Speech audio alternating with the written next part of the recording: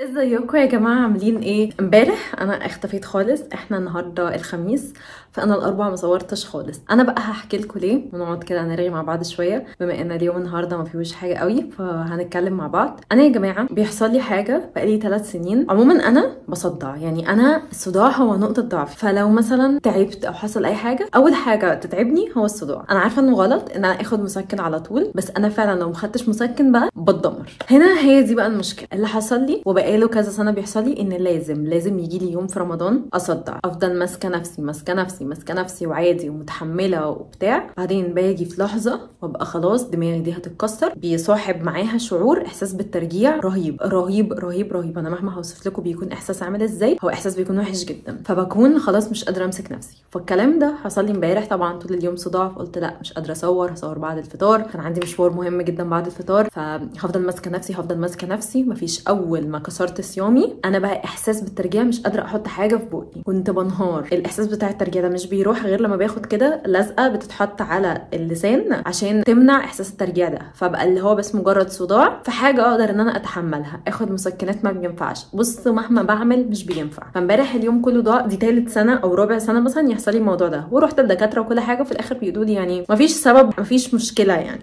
المهم فامبارح كان اليوم ده. يعني الحمد لله يا رب ربنا ما يرجعه يا رب ويا رب ما حدش يحس إن أنا حسيته ده. بس امبارح ده كان اليوم. فبالتالي أنا اليوم كله كان متدمر خالص. وأول ما لقيت نفسي إن أنا اللي بدأت أبقى أحسن شوية اضطريت إن أنا ألبس وأنزل عشان زي ما بقول لكم كان عندي مشوار مهم قوي بعد الفطار. فللأسف أنا ما صورتش. ده بالنسبة لامبارح. النهارده بقى هو اليوم اولا أنا بقيت active على التيك توك جدا عشان أنا بعد لما نزلت الفيديو واتكلمت معاكم وكده ناس قالت لي لا الاقي التيك توك تابعوا أكتر.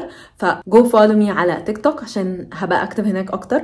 بصراحة الوضع هناك برضو أسهل لي شوية. فروحوا تابعوني هناك. هنزل برضو رمضان هنزل حاجات كتير قوي قوي هناك. فروحوا تابعوني. هستنى أسمع رأيكم. الفكرة إن أنا بقى لما نزلت ناس كتير قوي قوي قوي كمية ال commentات اللي لقيتها بتقولي آلاء أنت فين؟ إحنا ما كناش لاقيينك. وأنا والله أنا موجودة بس على اليوتيوب يا جماعة.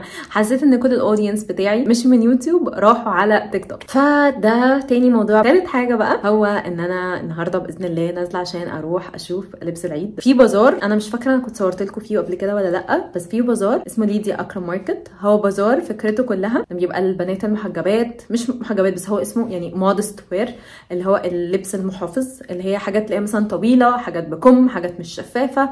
يعني في في styleات كتيرة قوي. فهو المفروض البازار النهارده وبكرة think by إن الفيديو ده ينزل هيكون already البازار خلص. كنت تتابعوا بقى ال page بتاعتهم على انستجرام اسمه ليديا أكرم ماركت عشان تعرفوا إمتى البازار اللي جاي بتاعهم. فأنا النهارده بصراحة عايزة أنزل أشتري حاجة للعيد. هو أنا already نزلت قبل رمضان عشان اشتري حاجات لرمضان. وما لبستهاش تقريبا. هو يوم بس لما كنت رايحة عند صحاب لما كانوا صحابي جايين لي البيت أنا كان نفسي أجيب حاجة للعيد مع إن لسه مش عارفة أنا هعمل إيه خالص في العيد وممكن في الآخر ما اعملش حاجة فبالتالي ما لبستش الحاجة اللي أنا هجيبها دي. بس أنا كنت عايزة أنزل أجيب حاجة تكون صيف كده مثلا فستان عارفين set اللي هو بلوزة وبنطلون أو كارديجان وبنطلون نفس اللون كده البيجات أبيض الألوان الفاتحة دي بمناسبة دخول الصيف وكده. فالنهاردة هروح البازار ده عشان أكتشف الدنيا هناك وأشوف لو في حاجة ولا لأ. هي الفكرة كلها إن أنا already كنت لسه في البازار من أسبوعين فمش عارفة بقى هل في حاجات جديدة أو collections بقى هم منزلينها للعيد ولا لأ. هنروح البازار بقى مع بعض النهارده وبس تقريبا هو ده ال vlog بتاع النهارده.